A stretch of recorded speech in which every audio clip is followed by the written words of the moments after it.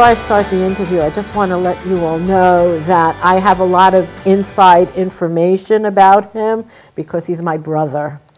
So um, there are things that I might ask that strangers can't. Well, remember the answers are going out with strangers. So. Yeah, no. Um, one thing I wanted to ask you to talk about was how old were you when you knew you wanted to play the piano? Four, four or five. How, yeah, you started lessons at five, right? Yeah. Why? Because mom and dad never pushed you, but No. you you wanted lessons. Yeah, I just wanted to play. You were picking songs out already, playing. I remember once you were about three and a half, and it was a Beatles song, and you played it with your right hand, and then you said to Grandma, and you said, "Ooh, can I play it with my left hand too?" And she said, "Sure," and then you picked it up. So this was something you've always known you wanted to do. Yeah. What was your first professional gig Well, where you got paid? professional. Well, first gig that I got paid was ten. I was ten, and it was a camp show at uh, up in the resort uh, up in Nob Hill, which was In the Catskills. The name of a resort, yeah, in the Catskills, and it was p- playing piano for the camp show.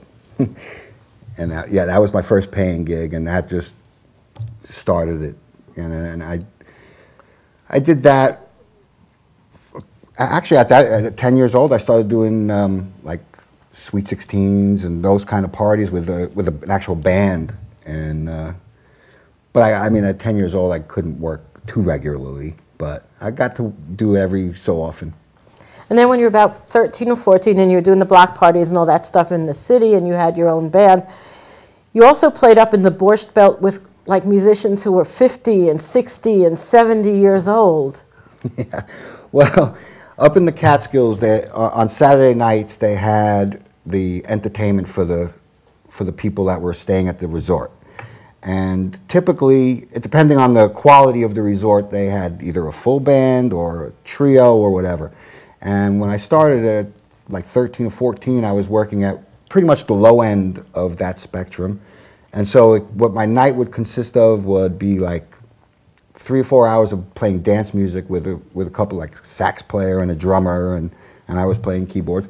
And then we would have to play a show, which basically consisted of a, a singer and either a belly dancer or a stripper, which didn't thrill my parents much, but it was a lot of fun for a 13 or 14 year old. Aside from block parties, uh, my memory was you were like 14 or 15 years old when a limousine came to the house and picked you up to play with Ian Hunter, the Hoople, was- Cleveland Rock. But yeah, that was that was more. I think that was 70, 77. That was like the first year after I graduated high school. Oh, no dates. Uh, yeah, it was back then sometime, and no, I was a little older than 14. I was like 18 when that, that happened. Oh, it was that? Yeah. it Oh, okay. Yeah, but that was. that Talk was- about, how did that come to be? Talk about that. Well, um, I was playing in bands around New York City, and um, a, a band that I played with, guitar player friend, he was working with Ian Hunter, and they were getting ready to, to go on tour, and um, the keyboard player's the guy that was actually playing keyboards, his father passed away like the day before they were leaving, and so they just called me up and asked me if I could fill in and, and go out with them. But you were, you were an 18, because you were too young to drive, and a limousine had to come to the house and pick you No, up? No. Well, a limo I came do- and picked you up, though. I didn't do that before I before I graduated high oh, school. Oh, okay. All right. And then later on, you wrote a song for Cyndi Lauper called She Bop. Right. Um, anybody know that song, She Bop? They're too. Are you too young? Oh, you remember? Okay. um, so that was that was a big hit in in 1985, 84, 85. Mm-hmm. And from that, that's when you moved on to playing with Kiss. Well, there was a couple of years in between. I was 85. I didn't start playing with Kiss until 87, 88. So in between, that opened a bunch of doors to working in the studios and getting some better work. And for the for those couple of years, I did more primarily studio work, and I was doing it with computers, which were kind of new at the time, and so I was doing that for a while, and then I kind of needed to take a break from that and do something else. And a conversation with a friend led me to playing with actually before Kiss, it was Lou Gramm, who was the singer from Foreigner, who was doing a solo record, and um, I did his tour. And right as I was, like a week before I was leaving for his tour, I got a call and asked me if I wanted to do the Kiss tour immediately following the Lou Gramm tour. And so that's that was 80. Lou Gramm was 87, and Kiss was the end of 87 into 88. Okay, at that time, keyboard players weren't considered cool rock and roll, so Kiss called you the secret weapon. Why? Well, because I, I was off stage with Kiss. I didn't act, most of the people weren't supposed to know I was there. And the parts that I played were not really keyboard parts because they didn't really have a lot of keyboard parts on the record. Um, the parts that I played were basically doubling the guitar parts, doubling the bass parts, doing background vocals. Uh, eventually, I had a rack full of samplers that I was triggering uh, sound effects, explosions, um, you know, some vocal sample parts for background vocals and stuff like that. And so it was all stuff that should have been handled by the band themselves, I guess, or, you know, but, but it made the band sound bigger and uh, still didn't, they didn't want to have the keyboards on stage. Because they weren't cool. But I remember Gene Simmons said to you, the reason that you're playing backstage and I'm playing on stages because while you were taking piano lessons, I was learning to pose in front of the mirror.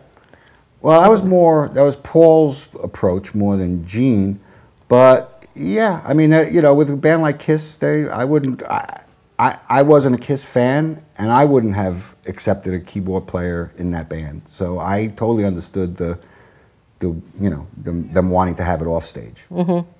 And a lot of bands in that era did that. You know, that was just a thing that, that went on at the time. Uh, you know, people hid their keyboard players. I don't know why, but they they did. And so, if you wanted to work, I mean, I, I, that was the only gig I ever did off stage. Although there was others that were offered to me that didn't make as much sense to me, and I would refuse to do that for, you know, because that's half the fun sometimes. But I made I made it fun being off stage, and I had a party in my. I had a little world on the side of the stage that because I was hidden, I was able to do things on the side of the stage that they couldn't do while they were performing on stage, and so it made it a lot of fun for me, and that's how I uh, kept my sanity basically. And where'd you go from Kiss? From Kiss, I went to Cinderella and Debbie Gibson. Cinderella. Anybody know Cinderella? They're a Philly Philadelphia based Oh, yeah? band. They, yes. they were from this area and were really popular. And they still toured up until recently, but um, they had several platinum records. But I guess n- none of your parents had a Cinderella album? I don't know. okay, Kiss. You played also with, uh, you know, like you did a lot of session work at that time. Talk about some of the people that they might know.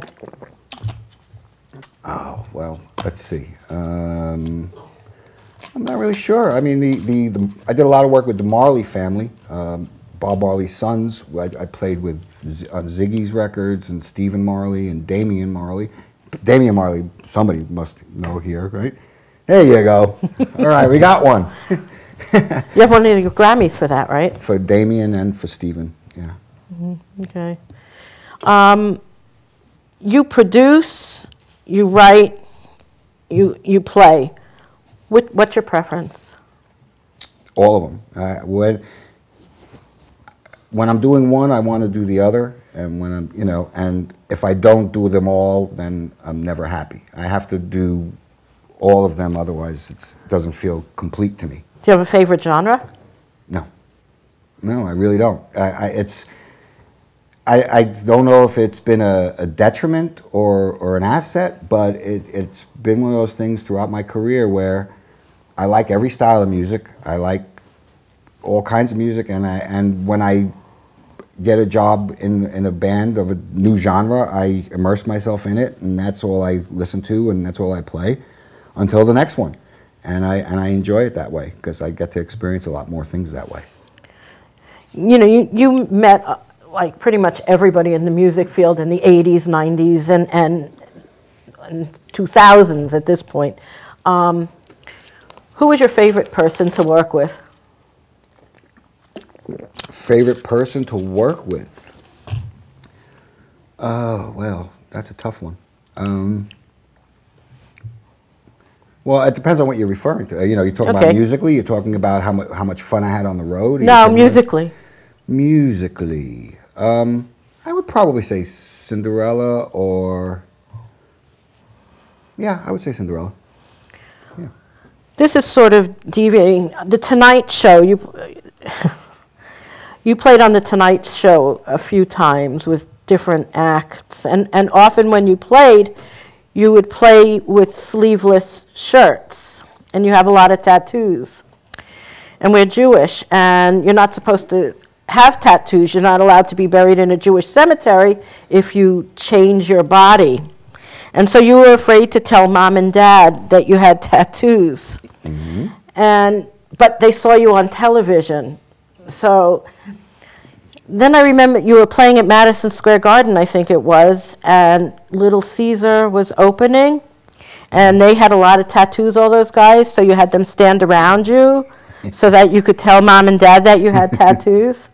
Well, actually, Lenore, my, my wife, um, actually went over to mom and dad's house the night before they came to Madison Square Garden to kind of break the, the news. And when she did, they told her that they already knew because they saw them on TV and they were just waiting until they saw me to, to let me know. Okay, I, I, I'm going to switch gears and go back a little bit. Um, you've you've played with pretty. You, I, uh, you've worked with Whitney Houston. You've worked with Slash. You've worked with Lou Gramm, and Lou Reed, and pretty much everybody in all sides of pop music, rock, punk, and metal. But a couple, n- n- uh, I guess it was now two years ago or three years ago, you did a soundtrack to a, uh documentary film on hunger in America where you had to do an orchestrated score. Yeah. Can you talk about that? Writing for, a for a film as opposed to just playing rock music? Well, I mean, film is a, an interesting thing, at, especially for me, because I, like I was saying before, I like variety. So every film is different. Every film requires different styles of music. Not everything sounds the same. And so at the same time I was working on that documentary and doing or- sad-sounding orchestra music, I was also doing a trailer for a horror film, you know, slasher film, and that sounded like Nine Inch Nails. So, you know, depending on which mood I was in when I woke up is what I worked on that day, and that's why I really enjoy the film thing because it really does give you that that variety, and it, you could switch gears like that. You don't have to wait six months until a tour. Mm-hmm. But that was a new, that was like a new thing for you at this point in your career is, Sure. Sure. I mean, it's a it's a totally different field. It's a totally different business, and pretty much the the everything that I've done up until that point didn't matter. Not not a bit because it's basically the, all that pe- film people care about is what you do and have done in film. And up until that point, I really hadn't done anything, and so I basically offered my services for no money up front to, to prove that I can do the job. if you were, if you were um, sort of instructing, or not instructing, if somebody came to you for advice, Right? they wanted, they were a keyboard player, guitarist, whatever, and they really wanted to break into the business in 2016. It's, it's, a, totally different business. It's a different business because of the way you get your work and because of the way the work is ultimately uh, sold and, and received by the public. And so I, you know, it's, How, how's it different? These people weren't here this afternoon. well, you know, the way it used to be was that you went to a recording studio and you, after you had a record deal from a record company who put up the money for you to make a record, you got to go in a studio which cost a lot of money to go in, and you recorded a record, and then the record company was responsible for selling it, and then you would go out on tour to kind of support the record, and and that was the way it was done back then. Now everybody can record in their in their bedrooms with their computers, and people don't need the money from the record company to make a record anymore. So it's very easy for somebody with a computer to record their record. They could sell it online and, and sell their music online with CD Baby and iTunes and all these channels to get your music out there without needing any anybody else's help. So it really is a completely different market. And there's no more record stores to, you know, because the product is all a download. And so there's no manufacturing. There's, it makes it a completely different, different business. Is it harder? Do you think it's, is it harder now? For example, you know, because you're not a member of a band, Right? um, is it harder now to find work to tour because you are a freelance musician? No, no. i- In some respects, it's easier because you have the social net, the social networking, and with things like LinkedIn and Facebook. You know, depending on how you use it, you can be in touch with the whole world. And you know, if you have an, a big enough network of people connected to you, anytime you have a new product, there's your there's your starting market, and it's a an absolute worldwide market. You don't need any anybody else's help to to reach people in other countries, which 20 years ago was unheard of.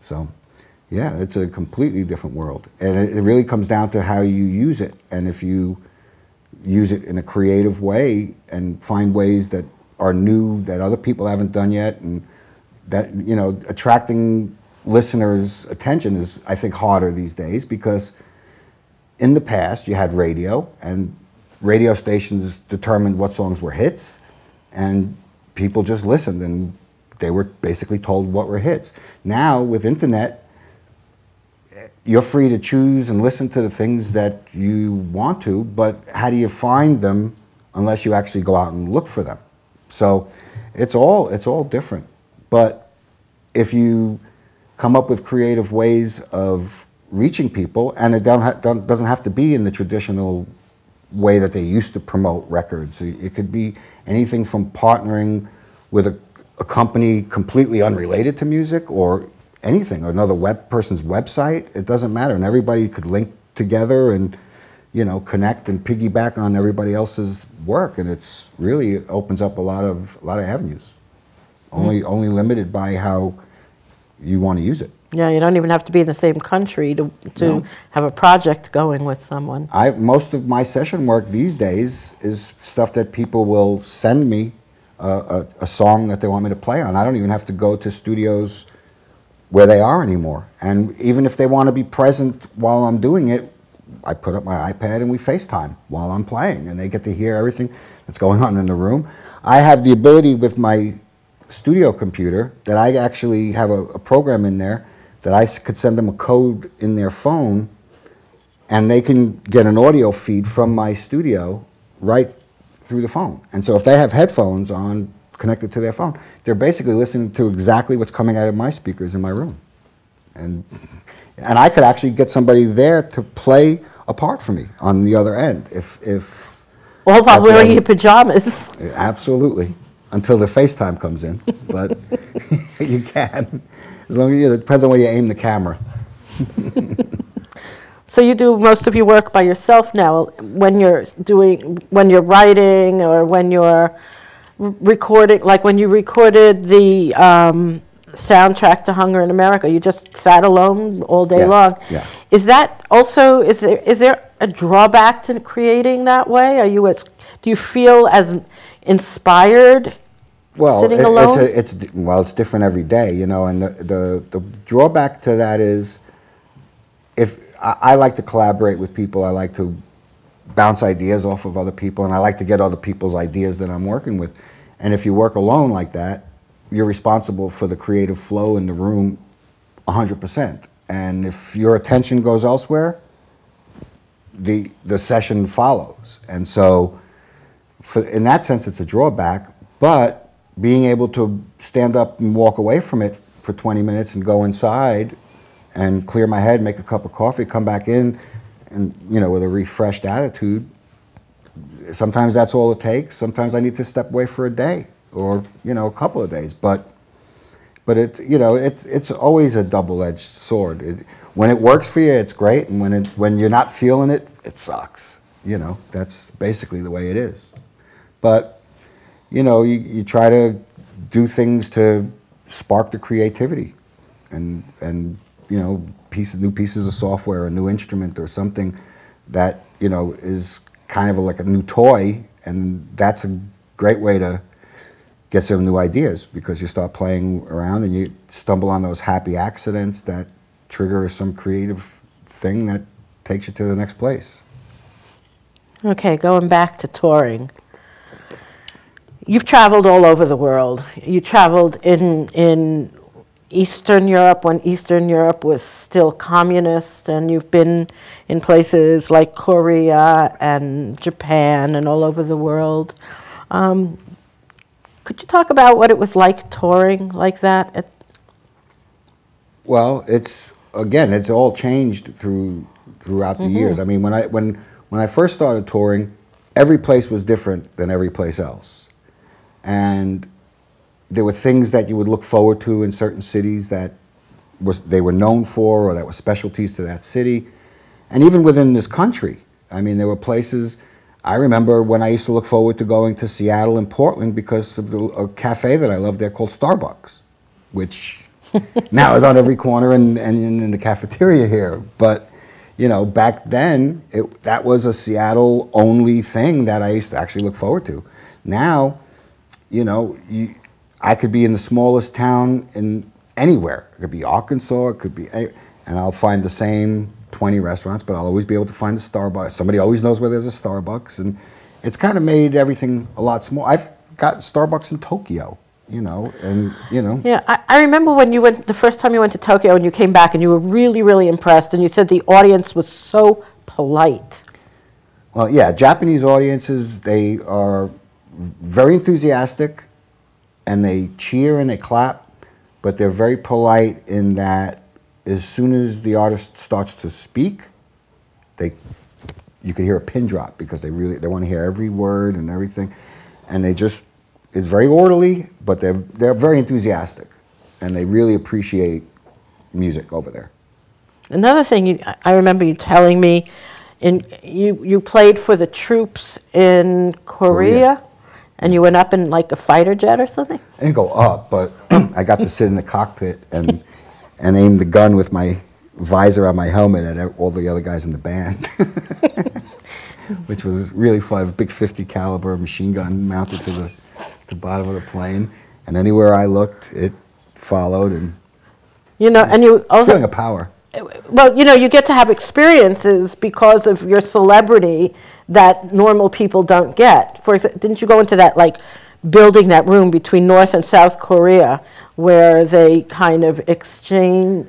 Yeah, yeah. They actually exchanged prisoners of war. I on the the, the actual line in the center of the room that one side is north and one side was south, and there was a door at each end that we were told really seriously that if you don't don't open the door that goes into the north, and they showed us marks on the the wall because on a regular basis the guys that actually were in charge of dealing with the door would hold on and somebody would hold their belt while they did it because it was common for them to get like pulled uh, across and taken prisoner. And you'd never and- be heard from again. yeah, yeah. But it was very, uh, very interesting place. And I got to go on the bridge where they actually used to do the, the walk to exchange the prisoners.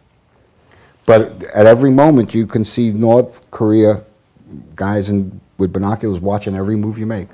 It's a, that's a very strange place right there. But but you you got to have an experience that most people don't, only because you're you know you were playing for the troops. I think that's really interesting.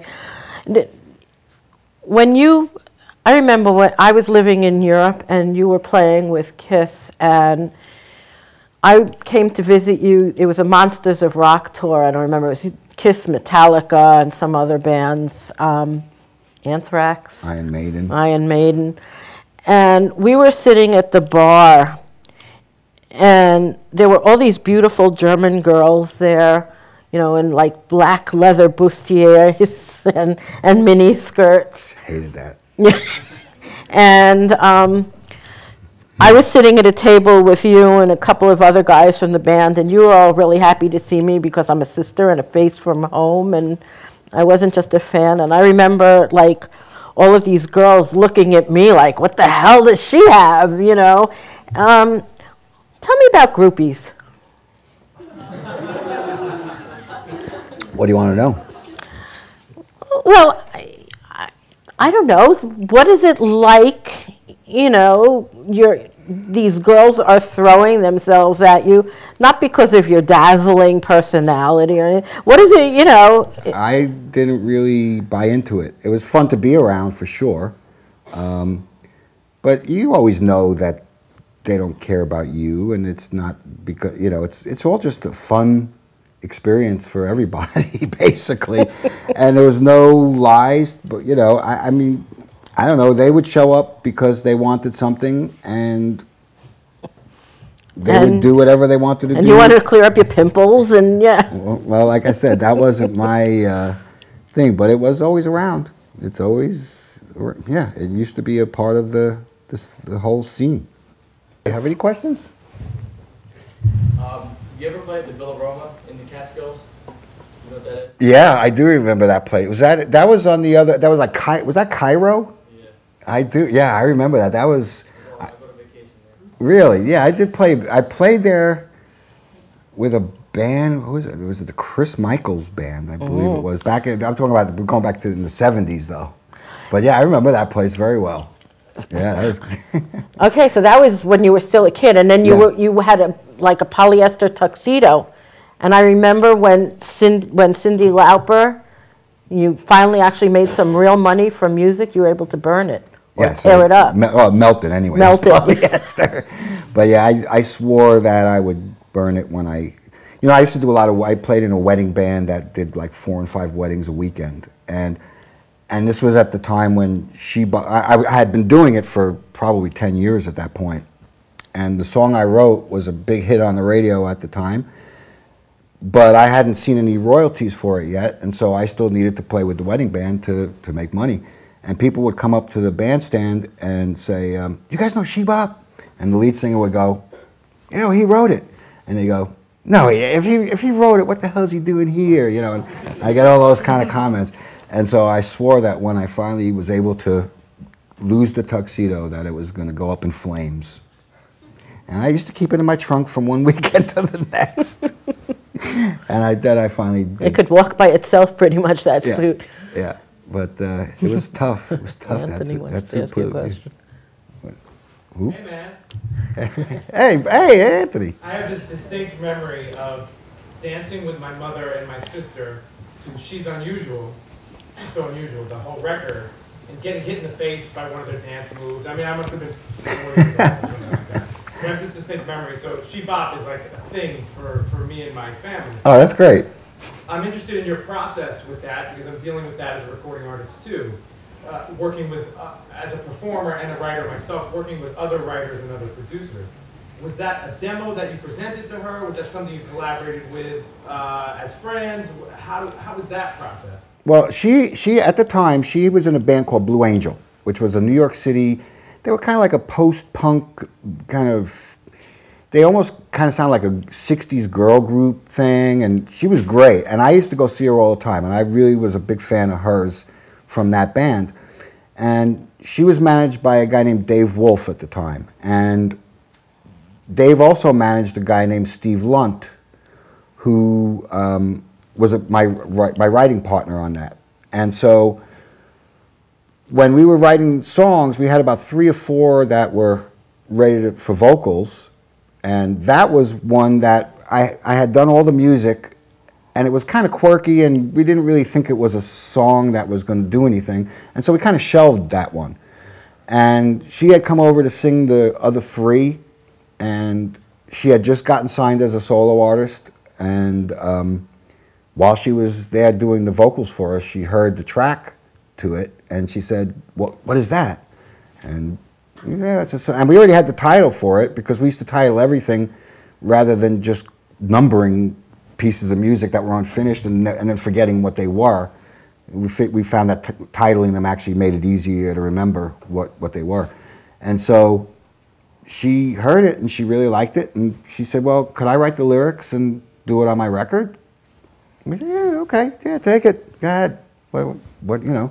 I was a fan of hers, like I said, from from her previous band, so I was thrilled. And the fact that it was going to wind up on an actual record was was great. No, but we didn't expect because Blue Angel had, had only sold maybe twenty thousand records, you know, which was great. So I, you know, I did all the math in my head. I was like, man, if she sells twenty thousand with this, you know, how much I'll make this much money, and that'd be awesome.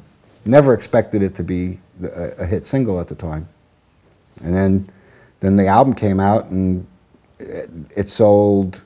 It, end, it the record ended up selling like seven million copies in the first like two years or three years, and yeah, and she's been- really yeah. recorded the song several times. Yeah, and it's been used in a couple of films, and you know, so it just keeps giving it new, new life as far as as far as the residuals, you know, and so I love it when I. It's been it was in that movie uh, Never Been Kissed, and and the honest truth is, it was used in that movie, and I get I still get money from it, and yet I've watched that movie. 10 times to try and see where it's used, and I still haven't found it. You're just trying to roll up the royalties by watching Oh yeah, I, well, if, if somebody's keeping score on my cable box, yeah, absolutely. I'm fascinated by these kinds of things because we're in the world where we post a video or a song or something like you said, we can do at home. I can score and write this original song, collaborate with as many people as I want, and maybe a thousand people listen to it. So think about the scope of seven million people buying it, you know, and I mean, that's just enormous for something that at one point you thought is nothing. well, and it's all you know. It's I I find that a lot of times the stuff that does the best is the stuff that comes out the quickest and the easiest, and you think the least of. Both both Grammys that I've got were for records that, if you would have asked me the night I did the sessions for them, what I thought, I had a great time. Uh, the sessions were, you know, it was a Marley fest. I mean, you know, it doesn't get any more fun than that. Um, I love the music, love the vibe, but other than that, I, I mean, I didn't even know that the, you know, from when the first one won a Grammy, I didn't know until the following year when the second one was about to happen that the first one even happened. And like I said, you know, I would have never thought that. You know, there were records that I worked on where I programmed stuff, I spent months, and those were the ones that you, I would think, you know, would get get some kind of success. Where it's the ones that really come out the easiest and the most fun, and seems to seems to matter, I guess. You had to meet Bob Marley's mother before you got to record with him, didn't you? Well, I, I also played on her her record. She did a lot of um, gospel and children's records uh, up until the time she passed, and she was a Mother Booker? Mother Booker. She was a really cool old lady, and, and we used to go. She still lived in the house that Bob lived in in Miami, and every year her birthday party was a huge event that. You know, every celebrity that was in town, you, you know, Shaquille O'Neal and Wesley Snipes, I remember all these people, and they would come and pay homage to her like she was uh, like royalty. And we used to play the Bob Marley Festival every year in, in uh, Miami. And she was always backstage, you know, and she was definitely revered by, by that community. It was, she was an awesome lady, though. Really great vibe, really great aura. I just remembered another birthday party. Was uh, you played at Howard Stern's birthday party, and you've been a guest on his show a lot of times. I, I was always a huge, huge fan. Yeah, that was a that was a fun, uh, fun. Yeah, that was a fun morning. It was kind of odd because it was uh, a five in the morning, four in the morning. You know, I had to show up because his show started at six a.m. So to do what you do at midnight usually, have to do it first thing in the morning was kind of tough. But we we uh, you know a couple of beers in and everybody was right where they needed to be right at 7.30 in the morning it was really strange but yeah it was a lot of fun and i got to play uh, and that was a great thing because he had his guest list of people that came through and that I got to play with that morning was, was phenomenal. Like Phoebe Snow came and sang with us, and Jon Bon Jovi came and sang with us, and so his you know his friend list was really good, and so it was a lot of fun that party. And I still hear it uh, when I listen to his show. He still plays the music from that party, like going into commercials and stuff. You don't get royalties for that? No, no. Any questions? Yeah, we, we have a lot of music industry studies majors and music business co-majors in the room that have to study artist management, music marketing, have to really decipher what they're interested in after four years and really pick their passion. It- Hindsight being hindsight being 2020. How'd you pick your passion through the eclectic background you have? Hmm. Well, I mean, really go with your gut. You know, I, you, there's nothing stronger than your first instinct. And when I listen to music that, you know, from an artist that I'm going to produce, I always sit down with a pad and paper the first time I listen because that is the, my, the best reaction that you're going to get. And if you go with your gut, you, you, you're never going to be wrong. And you're never going to be unhappy with the decision you made. You might, it might not work out, and it might, might not be what the end result might not be what you wanted it to be, but at least you can't, you won't second guess yourself in hindsight. And so, I, I'd say that that's probably really important. If something is fun to you, that's what you should be doing. You know, Eh, a lot of people think that if something's fun, then that's not an option as a job. It, you can make anything a job if you you know wanted to. The trick is to keep it still being fun because, of course, you know as soon as you turn it into something that you need to do for a living, it becomes a different stress. You know, Uh, then then it has to happen for you to be able to pay your rent, and and then if it doesn't happen, and so that could create all kinds of other issues. But you know, if you're happy when things are going the way you want them to go, there's no there's no better success than that. You know, it's not really about the money as long as you can keep the electricity on and the roof over your head. Just, you know. Yeah, I mean, probably like five out of 10 things that you were involved with, that you produced, that you wrote, don't go anywhere. Oh, yeah. I mean, you know, more Most- than half ends up on the floor. Absolutely. I mean, I've been doing this since the s- we're talking about s- the '70s, and so you know th- the small amount of things that we're talking about in this time that we're here. There's a lot of stuff that I could talk about that means nothing, you know, or that didn't succeed or that didn't happen. The the key is not giving up or give you know or not being able to look at the situation and see where you went wrong and change directions and learn from it and not dwell on a mistake or you know just learn from it that's the best advice you know but always trust your gut From a novice, what does it mean to produce music for an artist or for a band? How much control do you have okay uh, besides that? typically a producer in the traditional sense a, a record producer like when back in the 70s and 80s and, and even now the record producer is the person that's in charge of the entire process. They're, they're responsible they were hired by the record company. And the record company would choose them. The band of course had to agree.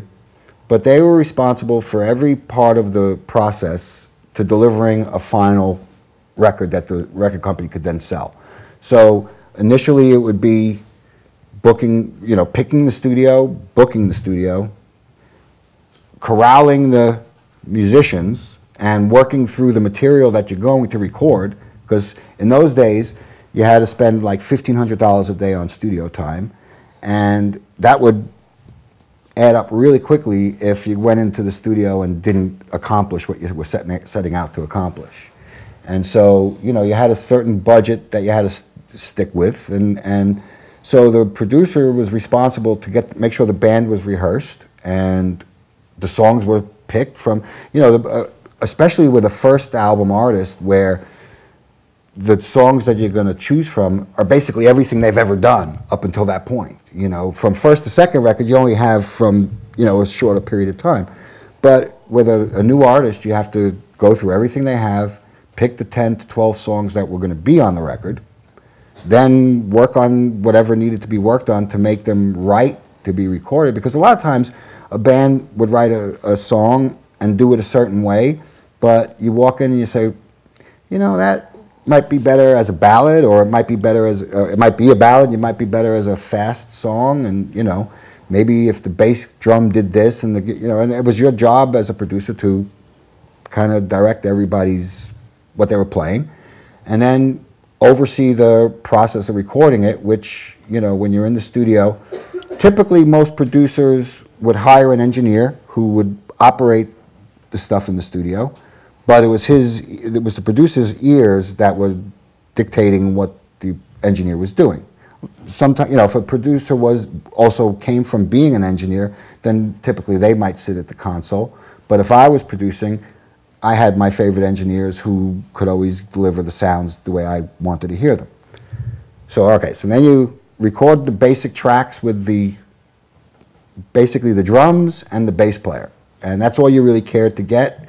Everybody played together, you recorded everything, but you, you just did that, and then you would start from the bass and drums and then overdub everything that needed to be added guitars, keys, vocals, do all, you know, and make sure everybody's performing their parts right. And then once all of the music was actually recorded, then you got to do the mix process, which basically means you sit down at the console with all the tracks of all the crap that was recorded, and you sit there and you go, okay, let's you know dial up the mix and okay, make that louder, make that softer, and you know, and it, you're basically responsible to deliver the final mix. And then it, once the mixes are done, you would have to take them to be mastered, because the mastering process was a process that after you had like 10 songs on a tape that you know were going to be the, the final album in order to make them sound consistent in volume levels or and just tonal quality so that the record would have a continuity